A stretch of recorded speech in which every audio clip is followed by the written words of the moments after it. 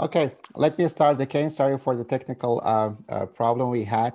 So it's about lecture eight about um, decomposition techniques, optimization problems with decomposable structure. As I just uh, mentioned before the technical issue, here we are gonna talk about uh, how to know if our problem in hand is decomposable or not. So after that, we can talk about specific problems, specific techniques like Benders' decomposition or Lagrangian relaxation or ADMM or what.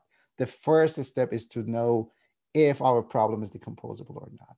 But from today till um, end of the course, we will focus on different uh, decomposition techniques. Okay? Good. So the learning objectives of the lecture today is for you to, I mean, hopefully after this lecture, you will be able to explain why we need decomposition techniques at all and, and identify whether our problem is decomposable or not, and if it is, how we can decompose it, right? Based on the way we can decompose it later, we will pick a specific technique, either Benders' or Lagrangian uh, relaxation or any other technique. Good. Um, the main reference for uh, um, the, the composition uh, is, is, is this book in, in, in this course, but uh, over the lectures, I'll also provide uh, additional lectures, additional references, sorry. Well, what does it mean? What does um, uh, decomposition means? Decomposition is easy just to be able, if we have original optimization problem with decomposable structure, by decomposition, we will be able to split the, the large, the, the big problem to a set of small decomposed problems, right? And obviously, each decomposed problem is way easier to solve than the original non-decomposed problem, right? So it's like a very large piece of ice. We can't handle it, so we split it to smaller pieces of ice, and then we can easily uh, carry, uh, carry it. So the, the idea of decomposition is to split a large scale problem to a set of small problems to, I mean, decomposed optimization problems. Okay. So why do we need decomposition in energy systems? So we can think of two different types of problems, right? The short run or mid run problems, or you can call it operational problems like market clearing, unit commitment, something like that. Also, we have long run problems like uh, planning problems, investment problems. So in operational problems, why do you think we need uh, to use decomposition techniques? I'm not saying everywhere, but is there any case that we need decomposition implemented to operational problems? Any idea? Why do we need to use decomposition techniques for operational problems in power and energy systems. Any clue you can write in the chat box. Uh, neuron set problems are in general large scale, uh, large MILP scale, stochastic models, time restrictions. Exactly, very good. Computational burden, large scale problem. Thank you so much for uh, very good inputs. That's the point exactly. So in operational problems, we need to solve our problem in a specific time period. If we are solving, let's say, um, a day ahead electricity market clearing problem, we have to solve it, I don't know, in max one hour or half an hour. It depends on the regulation of the underlying market. We cannot wait for a day to see if our market clearing problem in day is being solved or not. So we have time restrictions. And of course, it's something similar. We need to have our, I mean, to make sure our problem is computationally tractable, right? But what about the planning problems, the investment problems, right? In investment problems, we don't have time restrictions. We are making decisions for the next 20 years. I mean, if if our problem, uh, if we solve it in 10 days, even if the computational time takes takes 10 days, it's fine. It's, it's no no big deal. I mean, we don't need the results right away. So is there any reason that we need to use decomposition techniques for planning problems?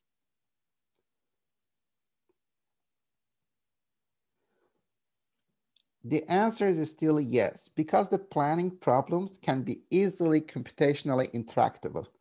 My, my PhD thesis was about planning and investment in energy systems. You can easily build a model which is computationally intractable.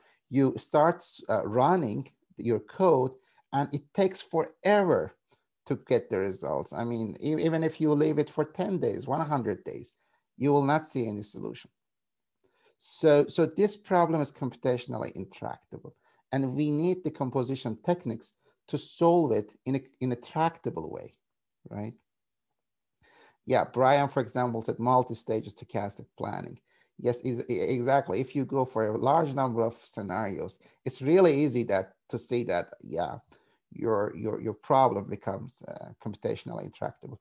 In, in my thesis, PhD thesis there, I, I had, for example, an example that even using decomposition with uh, a moderate number of scenarios, even it took uh, like a day to solve the problem.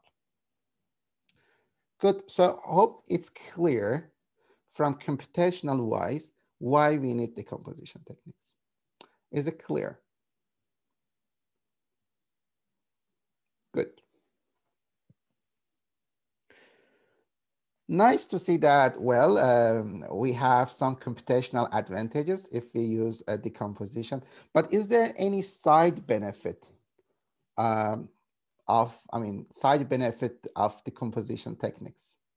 Is there something else, some any other benefit rather than computational benefits?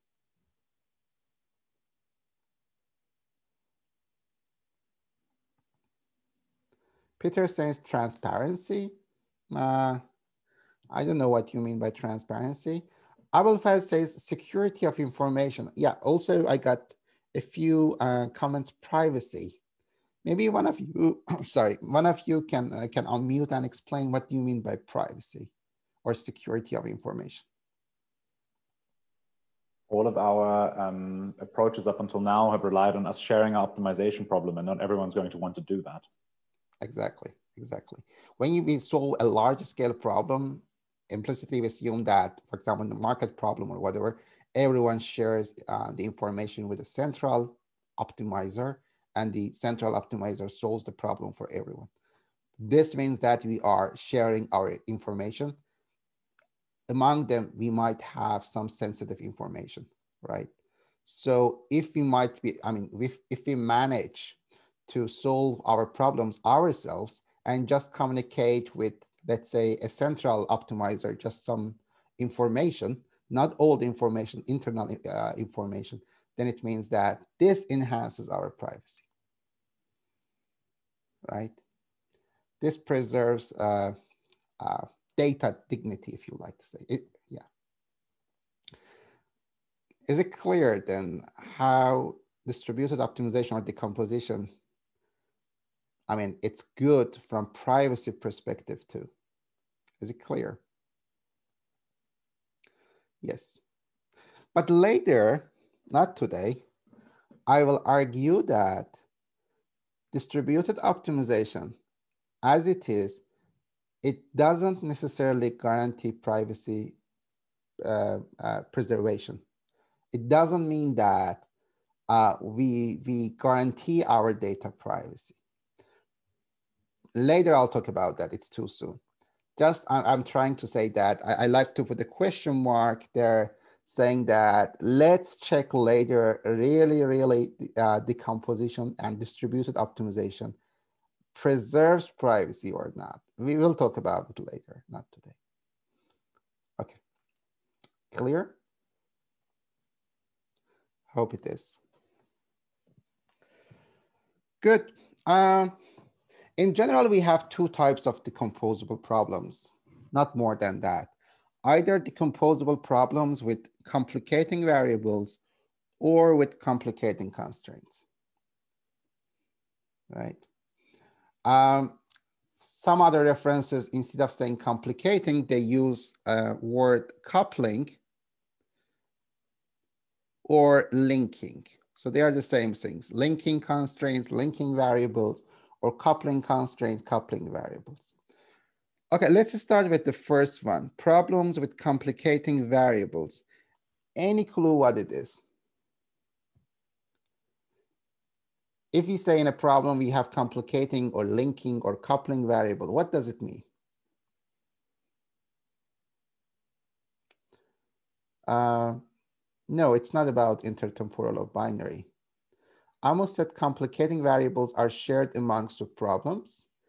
Okay, let's not talk about subproblems. You have a big, larger scale problems, and you say, well, variable X is complicating or coupling variable. How do you know that? before driving the subproblems.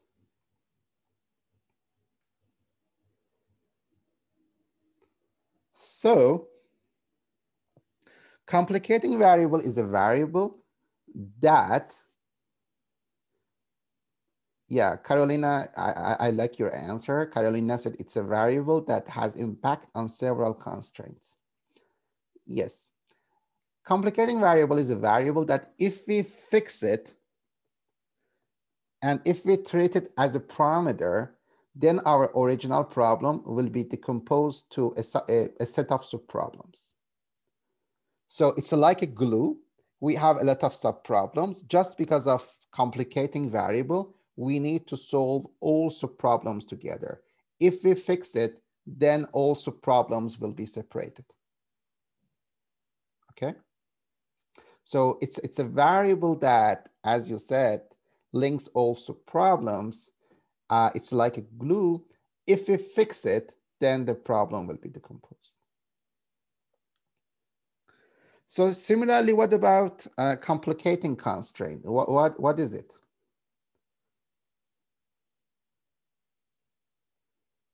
How to know that a constraint is complicating or linking? Yes, Lisandro says a constraint that links the variables. Okay, should I, what should I do with that constraint to see that if it's decomposable or not? Yes, Brian said, if we relax the complicating constraint, also Kelly said, then um, the original problem will be decomposed. Yes, so if complicating variable, if we fix it, or if we relax the complicating constraint, then our original problem will be decomposed. That's the definition, but we will see how to identify it. Yeah, as I said, uh, different literature, they also called it coupling or, or linking.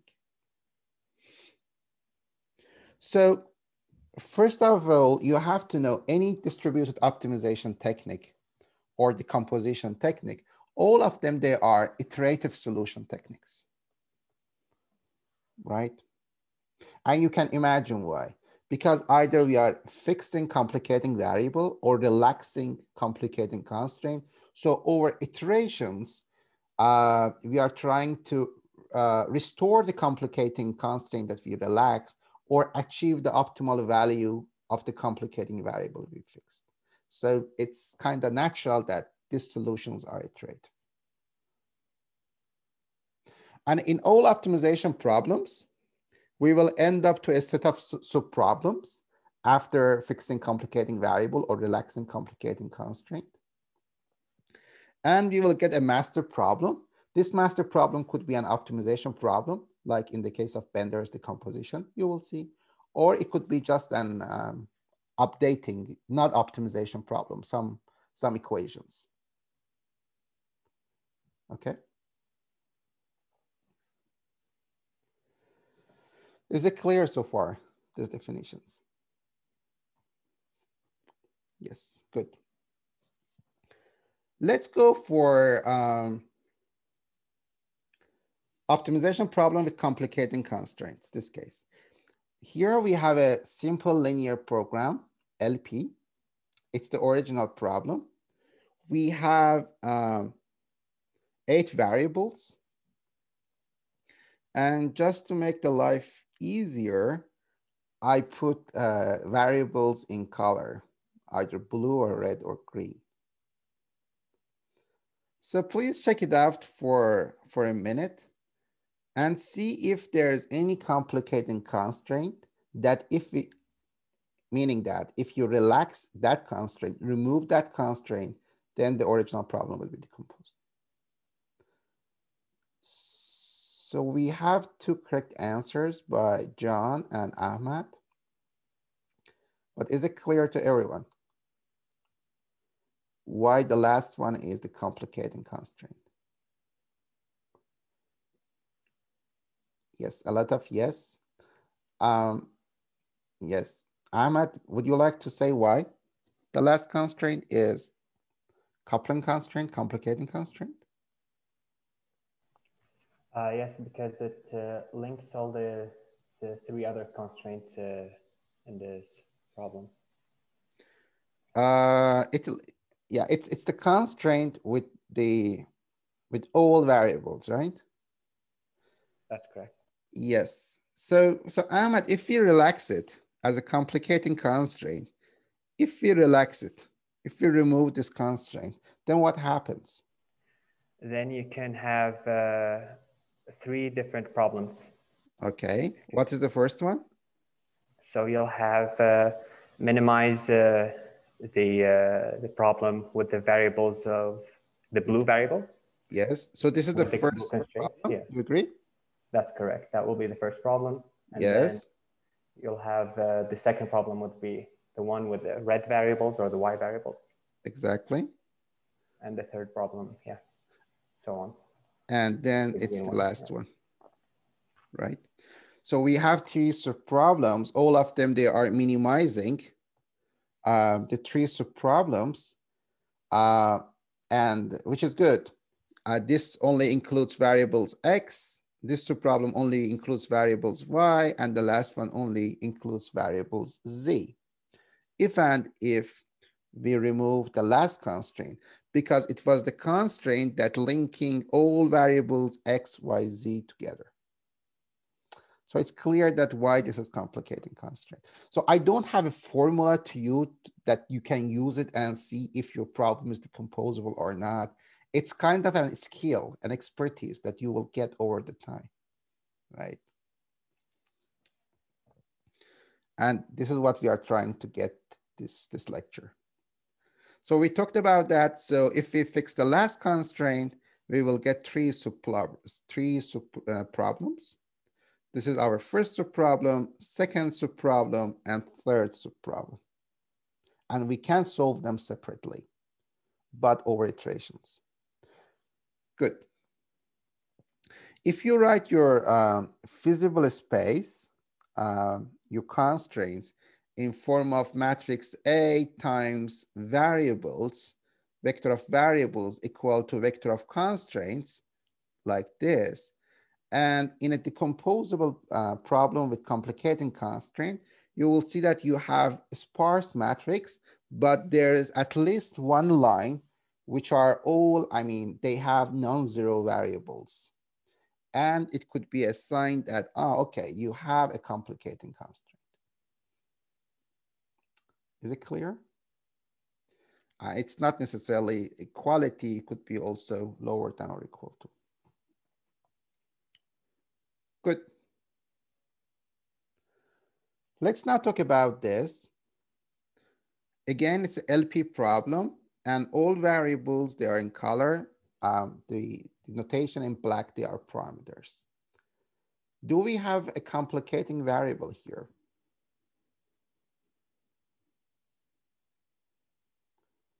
Jemima says beta. Is there anyone who confirms Jemima's answer?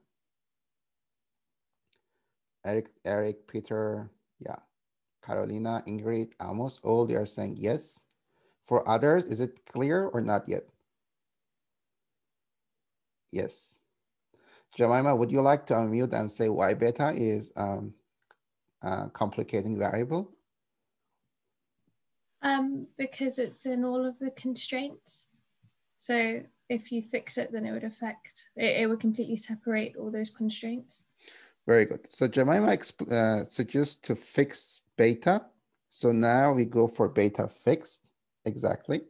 So now this is fixed, this is fixed, this is fixed, this is fixed, and both of them, they are fixed. Then what happens, Jemima, if we fix them? Um, then there would be nothing linking all of those constraints. Then you can divide it up into three sub-problems again. Three sub-problems. What is the first one? Uh, the first one is the first two constraints with the blue variables and the first two in the objective function. Very good. And what is the second? The second two in the objective function and the third constraint. Yes. So this is the first one? Yeah. This is the second one. Very good. And what is the last one? Uh, the one with the green. green Zs. Yeah. Very good. What about this, Jemima? Um, I think that's just a parameter now, isn't exactly. it? Exactly. D is parameter, beta is parameter, so we can uh, remove it from the objective function. Very good, very good. Thank you, Jemima. So beta is a complicating variable. And if we fix it, we will have three subproblems. So one complicating variable, three subproblems.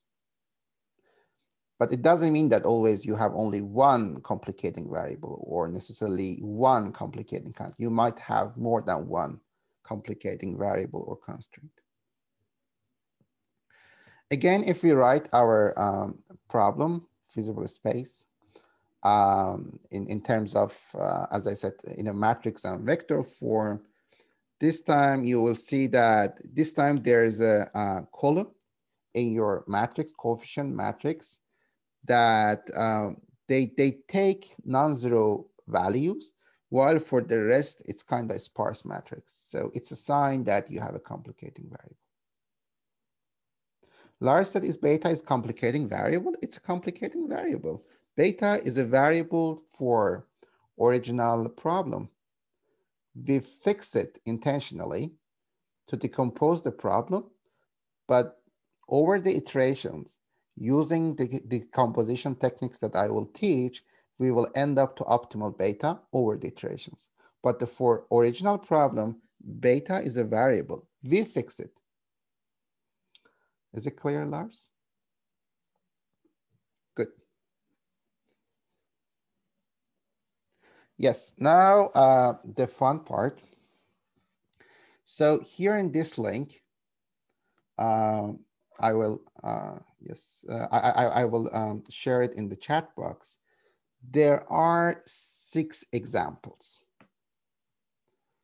Uh, I the answers are in the rest of the slides, so I suggest not to go, not to check the rest of the slides. So go to this link uh, for 15 minutes, for 15 minutes each of you, check the six examples and explore if they are decomposable or not. So that's the first item. Each example, is it decomposable or not? If so, how? By complicating variable or uh, complicating constraint. Uh, I will I, I will put, I mean, Instead of clicking just you need copy and paste the whole link. I guess it will work. If not, I will share the link in the chat box very soon. Good. So first you need to check how your problem, each example is decomposable. Then if it's decomposable, that's what I need from you to hear. Number of complicating variables or constraints and number of subproblems that you achieve. And please note that in some of the examples, you may have more than one option. For example, you may be able to just relax one constraint or two constraints or three constraints. So I, I, I like that you think a bit thoroughly about all potential options. And for each option, again, you can think of the number of complicating variables or constraints and the number of resulting subproblems. So for 15 minutes, yeah, that's what we can do. It's now, it's uh, uh, 440. So till 455, you can think. Then we can have a break of 10 minutes. Then uh, at 5.05, we will start again, but with breakout sessions. In the breakout sessions, you will check your answers with your peers. Okay. Uh, let me just uh, copy and paste. Yeah, I, I, I, will do. I will do when I uh, hold recording. Uh, or someone else also can. Maybe also someone else can. Can yeah. Thank you. Yeah, many people they they put the link there. Uh, good. So at 5:05 we will start again. Then uh, we will go for breakout sessions for 10 minutes or 15 minutes. You will check your solutions with your group mates. Then we will solve all problems together. Okay. Good. So see you at five past five. By that time, for 15 minutes, check the examples, 10 minutes break. So 5.05, we will start again. Thank you. See you. Well, uh, welcome back. Hope uh, you had good discussions in your groups about uh, each example, how it's uh, decomposable. Um, well, uh, we can we can go examples one by one all together and see what your answers are. So example one. Um, is there anyone who would like to unmute and uh, and uh, share her or his opinion? Do we have any complicating variable or constraint here? Any idea? So uh, it's a basic example, and uh, yes, I it's. Yeah. yes, it's x x6, the complicated uh, variables. So if we fix it, mm -hmm. we can uh, divide the, our problem into three subproblems. Uh, the first one is x1 and x2. x1 and x2, yes. And so the three sub three uh, first uh, constraints. So it would be uh, with x1 and x2, you're saying, right? So it's yes, this one, okay? Yes. Uh, the second subprogram with uh, just x3. Let me see. Then x3 only. So it will be this constraint. Yes. This this problem, okay? And then? And then uh, the last one with x4 and x5, and uh, x6 is uh, is um, fixed. So yes, so it will be the last one. It will be this one. Yes. Sorry, this one. And three sub problems. And the last one is, I mean, this is just constant, so it can be eliminated. It's constant. Mm -hmm. So how many yes. how many complicating variables? Uh, one. Yes, it's one. And how many subproblems? It's three. Yes. Very good. Thank you, Arno. It's totally correct. So good. So X3 is complicating variable and we will end up in uh, three subproblems. Very nice. Okay, example number two. Uh, is there anyone who would like to explain? A volunteer?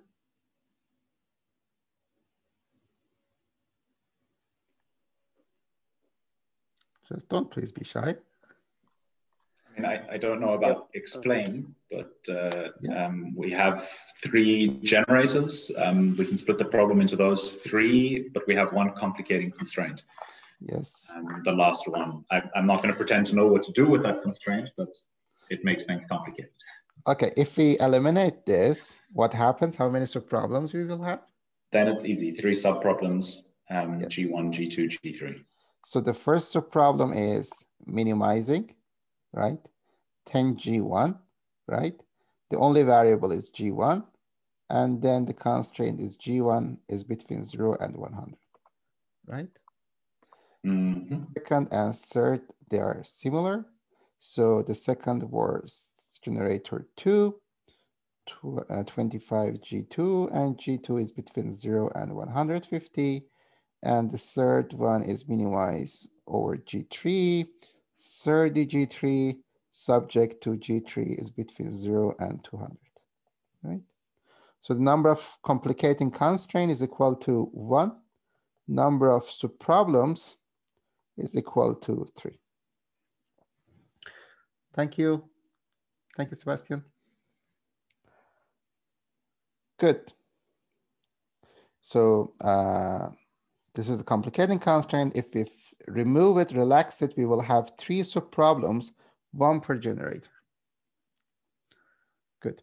Um, does it remind you the equilibrium problem, this problem, if we relax it? I mean, here we have kind of, you know, three optimization problem. Each individual solves her own problem while we relaxed the price setter problem. Am I right? Yes. John asked uh, Jada regarding the complicating constraint after rela relaxing it, don't you take it into account anymore? Uh, John, so far, uh, we are just identifying complicating constraint, but I, um, I promise uh, in, in the decomposition techniques we will learn, we will take into account back over iterations. So, so far here, we are here just to identify which constraint is complicated or which variable is fixed. But in, in the techniques we will, we will talk about in the next lecture, we will of course take on that content. Otherwise, well, it's not the right solution. Very good. Uh, here, example three, do we have any answer here? Yeah, uh, I can. Yes. Uh, I think it's similar to the previous one. Yeah, Mauricio, yes. Constraint is complicated. Which one? The last one. Yes, this is the complicating constraint. Yes. And how many subproblems? Um, we will have four. Yes. So we have complicating constraint is only one, the power balance equality, and the number of subproblems is four, means one per agent, right? Yeah. One per agent or one per individual. Good. So yes, it's, is it clear for everyone? we don't need to write the force of problems, right? It's clear. It's like the previous one. Very good. So one per agent. So now we have uh, multiple hours. Multiple hours. So what about this? Do we have any complicating variable constraint? Maybe one of you can unmute. Um, so yeah. it's basically the same as the last ones. We have a, a coupling or um, a complicating constraint um, in the equilibrium, also in the uh, balance constraint in the last one. Yes. Um, the difference is that we have here a summation over uh, over uh, yeah the hours, but um, the, the, they are not uh, linked together in the constraints. So I uh, agree. it's uh, it's already decoupled for, yes. for for the time. I, I agree. Yes. Okay, but if you assume, okay, we, if we don't count it, that the times they are from the first place, they are um, decoupled. Okay, so how many coupling constraints do we have in this example? The number of complicating constraints? Uh, it's uh, it's for for every hour we have one coupling constraint or so one per hour. So we have each number of complicating constraints, right? Yes. Very good. How many uh, subproblems we will have? Um, that is um, the number of hours um, times the agents. Exactly. So here it's four times h, four times the number of hours. Is it clear? So for example, for, for the demand, it will be maximize over G sorry, not G, D, D H1, it will be maximize, sorry, 40 DH1 subject to DH1 is between 0 and DH1, this one per hour. One per hour. So that's the, the first H number of subproblems. Good. So we have H number of complicating constraint and four times H number of subproblems. Very good. Yes. Okay, now one of the generators, um, they have ramping up and down constraints. What about this? What do you think here?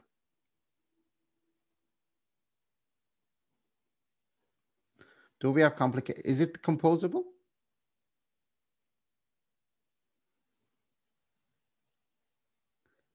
Maybe one of you can unmute and explain. Hi, I can try. Yes, Carolina.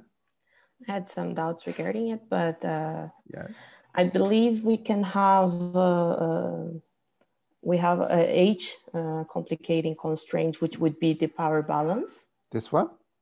The last one, yes. Yes. So then the number of complicating constraints would be H, or the, the yes. number of hours. Exactly, the number of hours. What about the number of subproblems? Then we would have one subproblem for generator one because it has the time coupling. Yes. So you would count all the hours. Yes.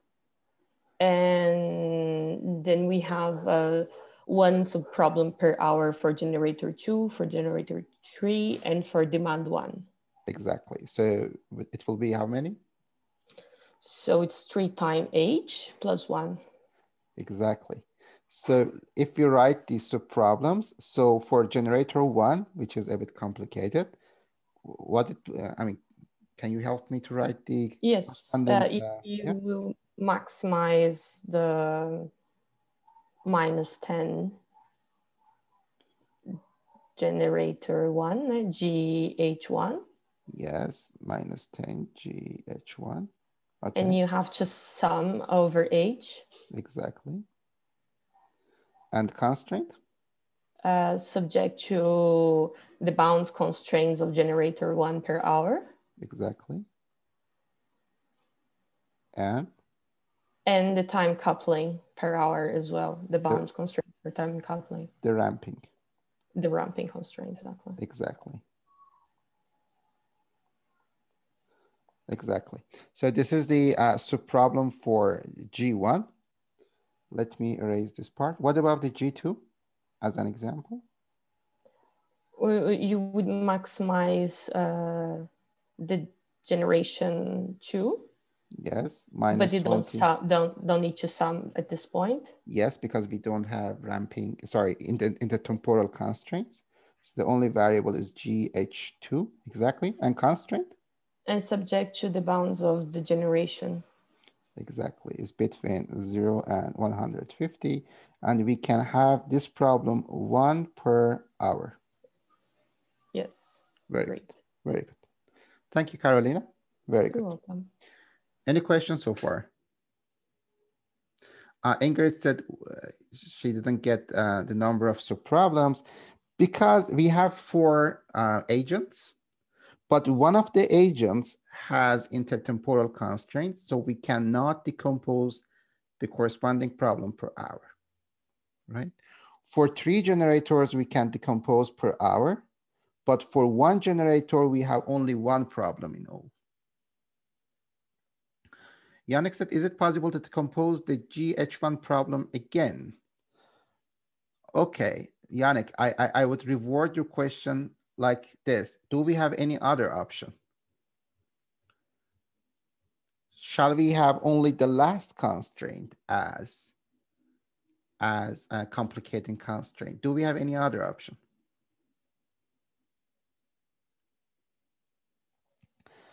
So let's do one thing more this time. as option two. So what we explain, what Carolina explained, let's call it option one, right? So in option one, we saw that we, we are, uh, the number of complicating constraint was h, and the number of subproblems was 3h plus 1. Let's call it option 1. Let's see what if, if we have something else or not. Yes, Sahan said, right. can't we relax all the intertemporal constraint? Uh, so Sahan, could you please unmute and say, this time if we relax only the ramping constraint, what happens? Well, if we relax the, all the ramping constraints for every hour, uh -huh. we would have, uh, I think, if we don't relax the, we sh should we relax the last constraint? Can we relax? We can do it, but I'll call it option three. Let's go for option two. Just so if, relaxing this one. Right. So we would have a h complicating constraint. Yes, but also we have ramping up and ramping down, right? Right. So two times h. Yeah, we have two times h complicating constraint. But if you relax it, what will happen? How many subproblems we will get?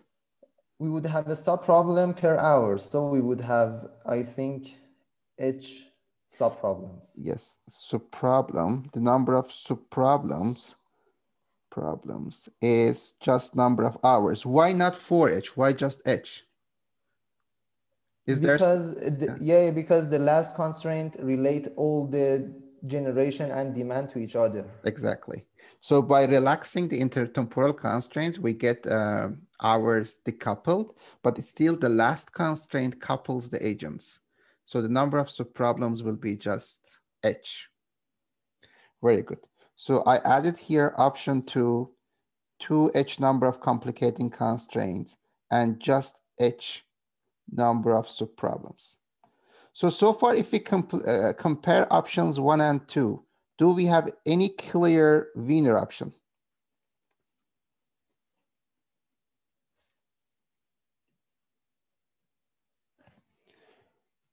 So let me write it a bit better. So in the second option is two number of h is number of complicating constraints, but the number of subproblems is h. Uh, Hosna goes for the first option. Jemima says one creates smaller problems. So in general, do we prefer to have more number of subproblems or less? Do we prefer to have less number of subproblems? Remember, what's the goal of decompositions? The original problem has computational issues. We like to solve it in general, we, one may say that we prefer to have more number of subproblems and less number of complicating constraints because as long as you relax more complicating constraints over the iterations, you need to restore them. So it may need more iterations. So Lars says in case two, isn't complicating constraints two minus 2h minus 2. Uh, you're right, but also Lars, in the first hour, we have a similar constraint, let's say for initial hour.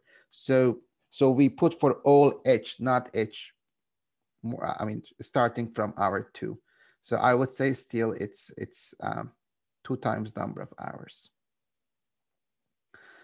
So um, is it clear? I mean, it, it looks like that the first option is better because with less number of constraints to be relaxed, we end up in more number of subproblems.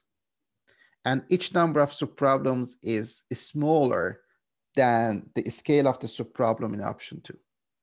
Is it clear?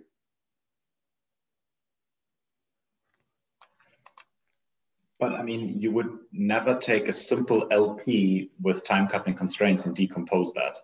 That yeah. would offer no benefits. Yeah, that's true. I mean, for simple LP, even it doesn't make sense to go for decomposition, right? So I think, here, as you said, the complicating variables take much longer to solve than just leaving the temporal problem. Uh, what did I say? Sorry. if you if you take generator H1 um, with its temporal coupling constraints and you just solve that problem, that's a simple simplex solution that runs very quickly. But if you decompose that problem, you don't know how long it's going to take. It'll definitely be longer than the yes, simplex. Yes, yes, yes. Okay, what I'm saying is that in general, it's not really easy to say which option is better because it depends on size of subproblems. For example, here, the size of one subproblem might be way bigger than the others. So it may take uh, the problem, make the problem smaller to be solved.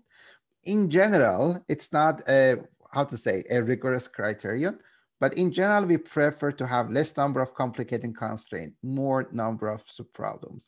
As much as, as, as long as we decompose the original problem to more number of subproblems, it might be better. Okay?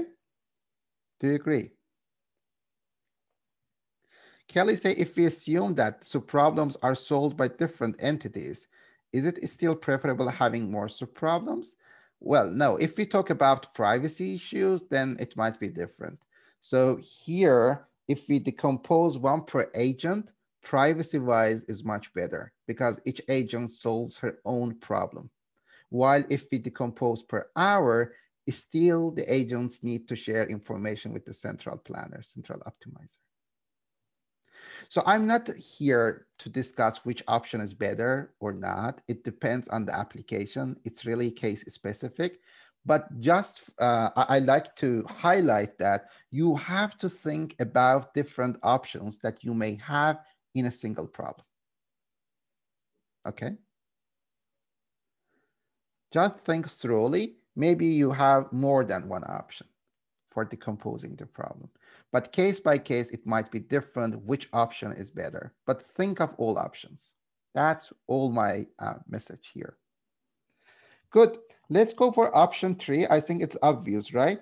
Let's see what happens if we relax those constraints.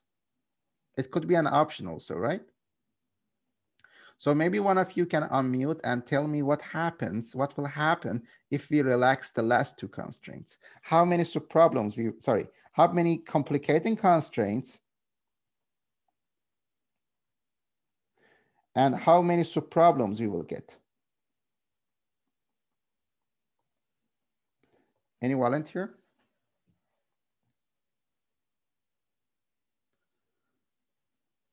How many complicating constraints we get? It's it's it's obvious, right? Zero. Uh, how, how, many, Mauricio? How, if, if you relax those two? Yeah, we relax these two constraints. So we don't have them anymore. How many constraints we are relaxing? Three. Three times h, right? One constraint per hour, two constraints per hour in the ramping. But how many subproblems do we get? Yes. Chandra and Sahan, they are saying four times H. Why Chandra? Because every R is decoupled and all the plates are decoupled. Yes, now we have one subproblem per hour per agent. So it's four times H. Good. Again, I'm not saying which option is winning, just when you think of decomposing a problem, think of all your potential options. Okay, is it clear? Shall we go example six? If you say clear, I'll be happy. Then I can no, confidently go. Yes, can I speak? Yes, John, go, please. Uh, hi, sorry. Uh, in the, uh, I think it was option two.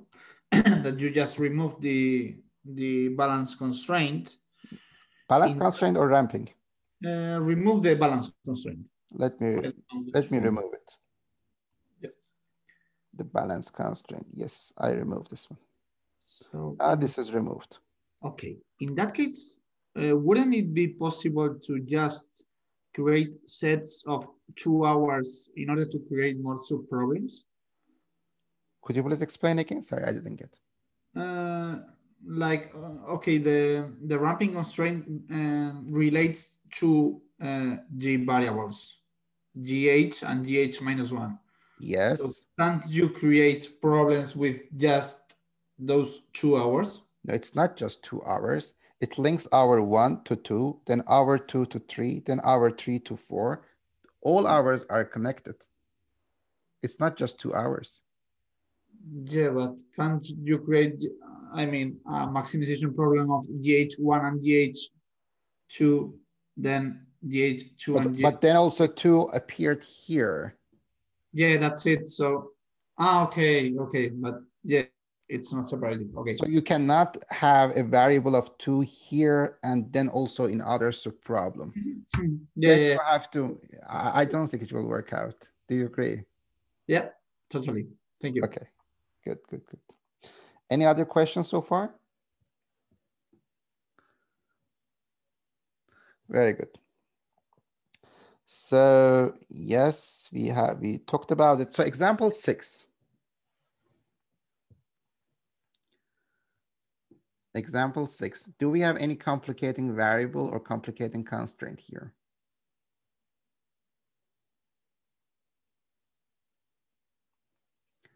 Any, any answer? I'm going to say the same complicating constraint we had before, um, the balancing constraint. Okay, let's go with Sebastian's idea. Okay, so which one is the complicating constraint? The last one or the, the balance? The last one, the balancing constraint. So we have those. So let's say this is complicating constraints. How many complicating constraints do we have? H. Thank you. So how many subproblems? So in this case, I would form three subproblems.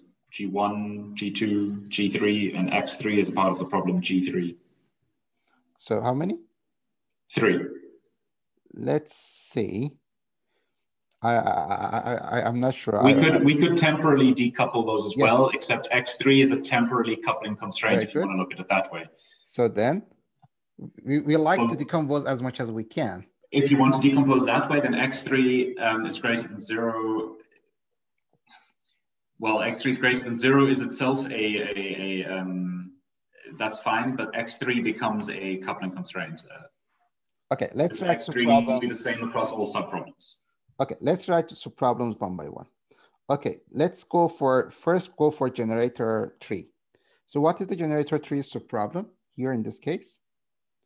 Is minimize, it's investment problem, right? Capacity expansion Yeah, problem. it's 15,000 X3 plus the sum of 30 GH3 over H. Very good. So H30 GH3 subject to X3. Subject to H3 is between 0 and X3. Yes. And X3 is greater than 0. Uh, exactly, X3. And our variables are X3 and GH3. So this is only one subproblem, right? Just one sub, uh, subproblem. What about for others? Let's say for generator one.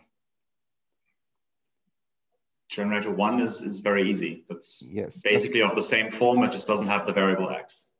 Exactly. So it's minimized 10 GH1 subject to GH1 between 0 and 100. Shall I go for sum over H or not? We like to decompose as much as we can.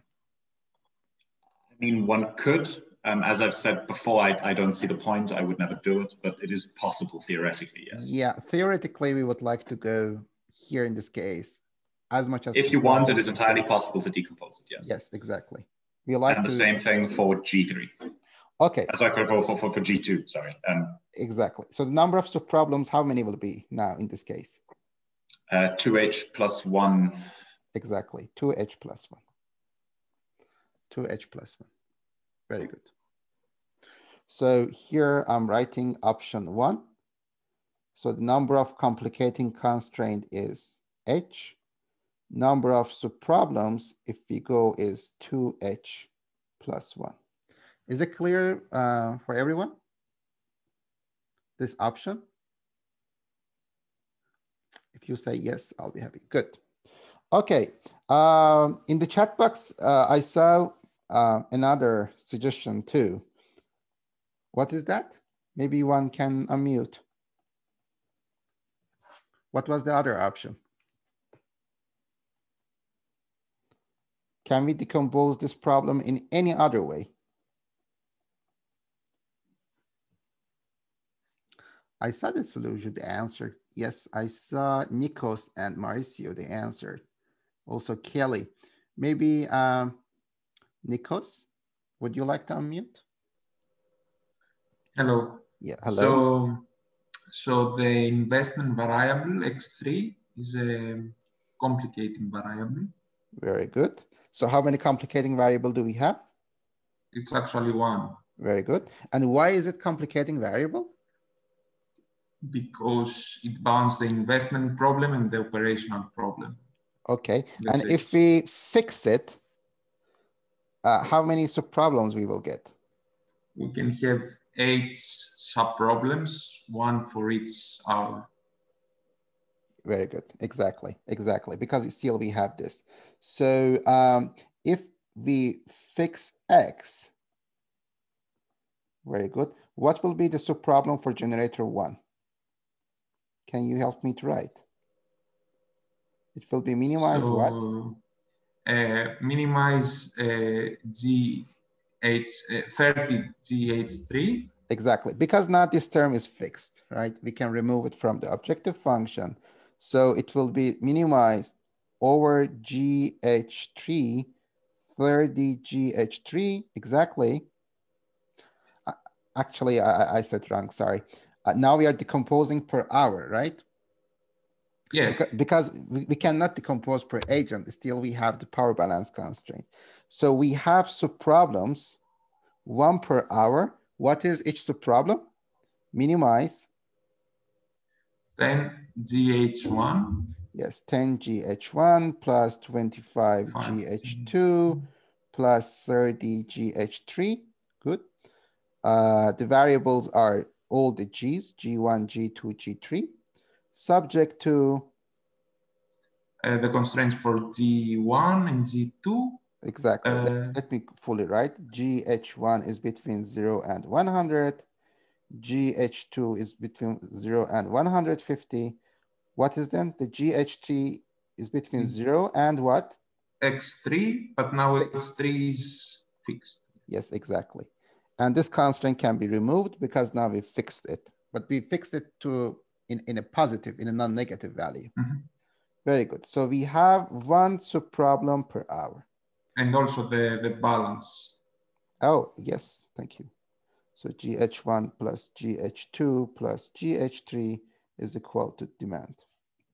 So here in option two, the number of complicating variables is one, while the number of subproblems is one per hour. If you think uh, for generation uh, expansion planning problem, we consider many, many hours, all hours, I don't know, in 10 years.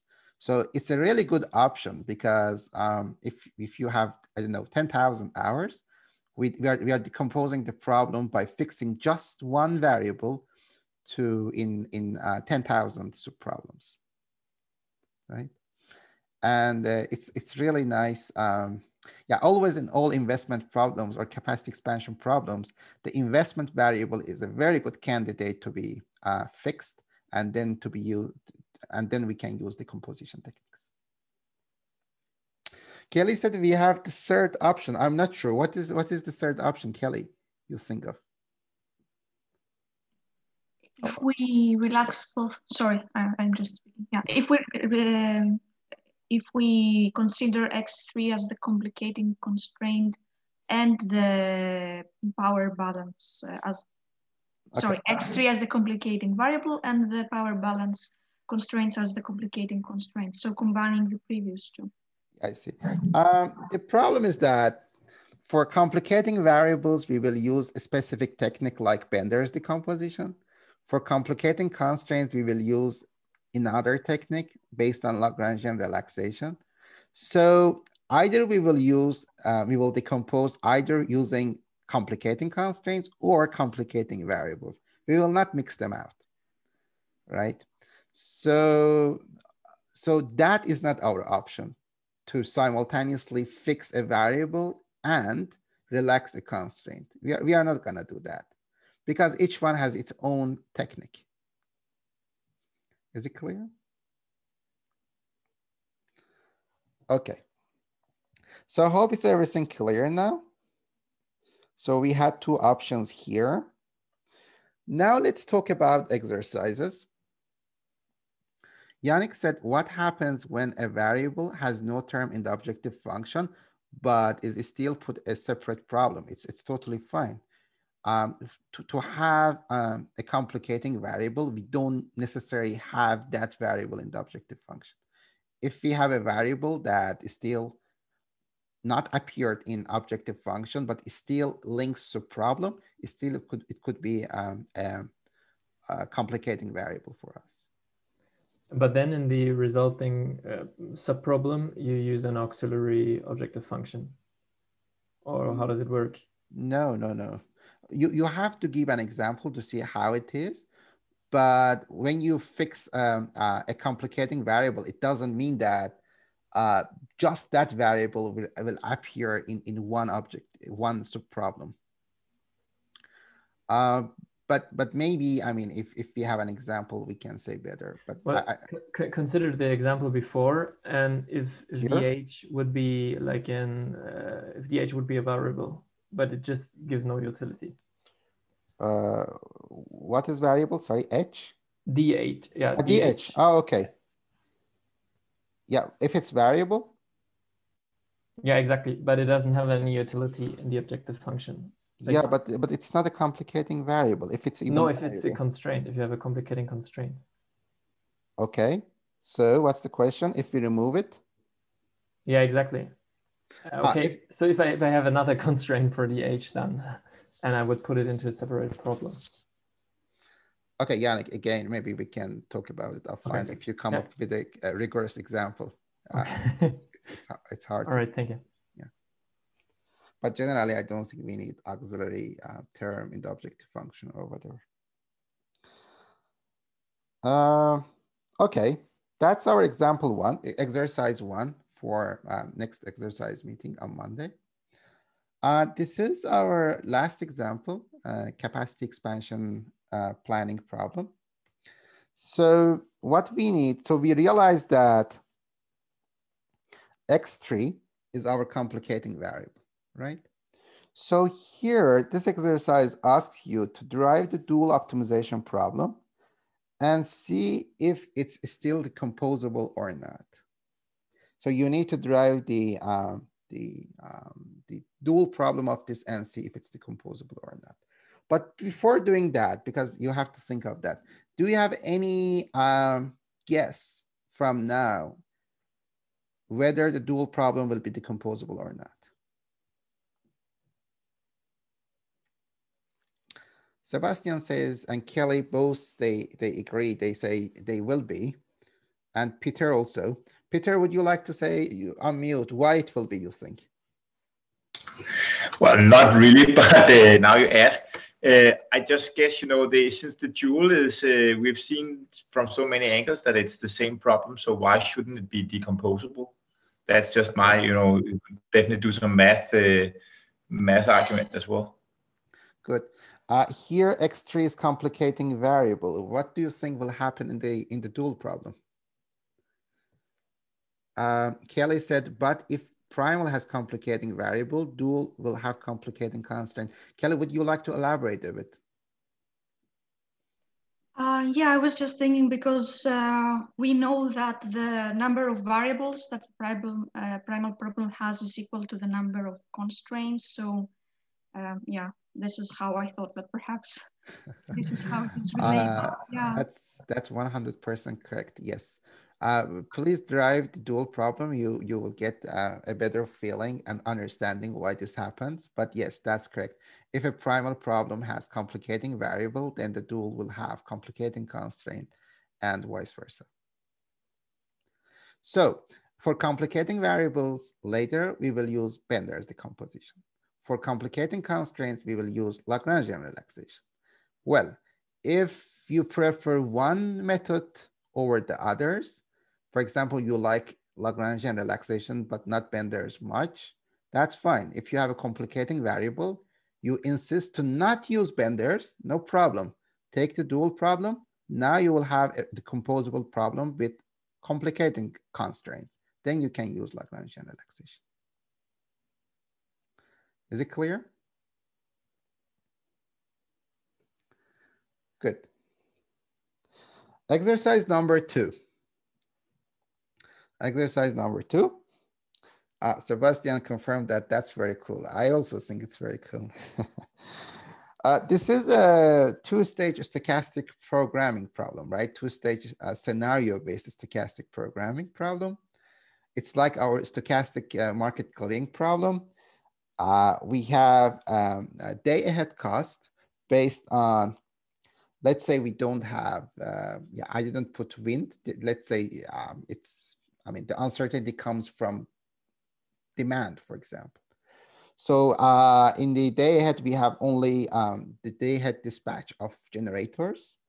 And then we have real time, expected real time cost, the operational cost of the system in real time for each scenario, all in expectation. And we have two variables, the real-time adjustment of generators and load shedding. Then we have three types of constraints. The first one is just depends on day ahead variables. The second one only depends on real-time variables because they are indexed by omega. While the last constraint, they are linking constraint. We have day ahead variables, or you can call it in general first stage variables. And also we have second stage variables, all indexed by omega. So again, you need to think of it till Monday, but do you have any initial clue if uh, two-stage stochastic problem, is it decomposable or not? Any first clue? Uh, Sahan says day ahead generation variables should be fixed. Sahan, would you like to elaborate a bit?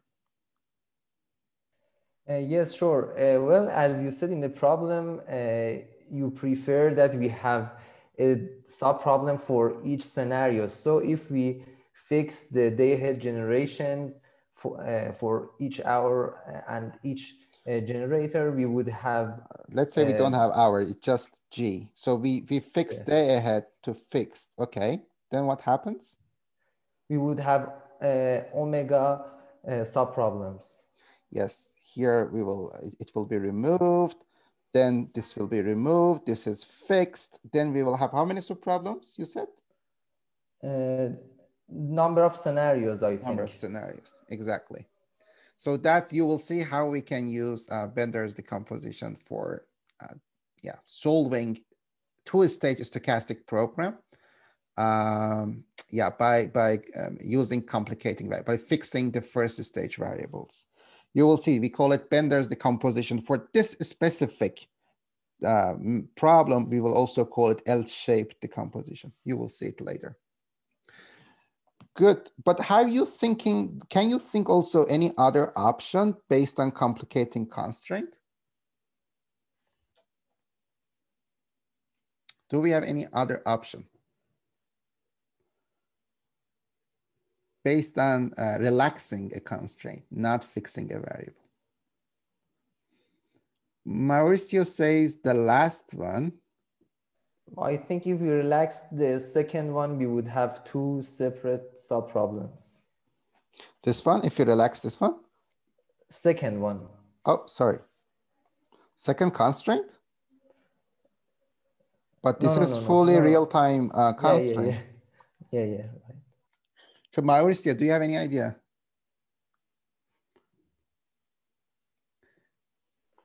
I, am just guessing that uh, because uh, we have that um, kind of a balance with all the variables, like just relaxing that last constraint can help us to solve the problem or to decompose I, it. Yes, if I relax it, it's correct, right? Then we decompose, we have one this, also we have one, yeah, for, for all, yeah, but then we are decomposing to only two sub-problems, right? or no, not two problems. Sorry, we are. We are decomposing into subsets. Yeah, yeah, that's true. but, but the issue is that here, we don't know how many coupling constraints like this we have. Yeah, in our stochastic market clearing problem, it's, it's not just power balance equality. Also, the generators, they, ha they have a constraints like this, right? PG omega real time, their summation, it should be between zero and PG max. So it's not just power balance equality, right? So we don't know how many constraints like this we have. It might be too many. So it means that we need to relax many, many constraints. Am I clear? Do you see any hidden constraint that we can relax?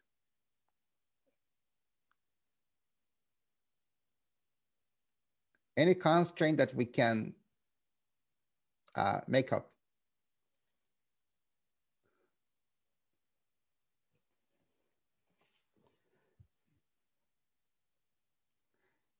If I make each day at first stage variable scenario dependent, what will happen? And then um, fixing all scenario dependent first stage variables to be equal. Am I clear? Let's do together. I like to put omega index for first stage variables. Yes, Achilles, you, you got it. And then, uh, yeah, I, I put omega to all first stage variables. So now per omega, right? So what happens if I do that? Can we agree that now we have one problem per scenario? So I relax uh, the first stage variable to be scenario dependent. Very good. So Aquila said now it's decomposed per scenario. Do you agree? But now I, I have a constraint saying that PG day ahead in scenario omega is equal to PG day, sorry, P day ahead G omega prime for all omega and omega prime, all in the same set. So omega and omega prime, they are alias. If I do this, it's the same as the original problem, right? Do you agree? Yes. We call this constraint non-anticipativity constraint. It's also a very good candidate to be relaxed. So if I relax it, so if I relax it, then I, I, I will have one, again, one, uh, one subproblem per scenario. Do you agree? That's also one option that you can use. Good. So Nico said, what did we gain from this trick? That's the second option. That's the second option to decompose a, the uh, stochastic, this uh, two-stage stochastic programming. Good. So, and uh, this third exercise, think of, um, so Nikos uh, asked that we relax a constraint instead of a variable. Yes, now, instead of fixing the first stage variable, we uh, relax the non-anticipativity constraint. Again, in both options, we will have one subproblem per scenario. So to solve a two-stage stochastic program, we have two options. Both ends up in one subproblem per scenario. One is um, fixing the day ahead, the first stage variables. The second is uh, relaxing non-anticipativity constraints. Is it clear? Everything. Good. So let me finish it, uh, exercise three. Uh, but I like that you think about these exercises for Monday. So Monday we will uh, deeply uh, talk about these exercises. But I, I like that you think about uh, your current problem if you work on a specific problem right now and think if it's decomposable or not. And if it is, how? So that would be amazing if uh, Monday you unmute and say, well, this is my problem. Now I, I realized it's decomposable. And this is the way, this is the number of complicating variables or constraints. And then this is uh, the number of subproblems. Good. That's it. Thank you so much. Uh, uh, is there any questions so far or about this lecture? If not, we can conclude. Then I'll stop recording, but I'll stay. If you have any question, I don't know, about your projects or whatever, you have some private questions, you can uh, stay and I'll be here for yeah half an hour, then you can ask. Thank you so much.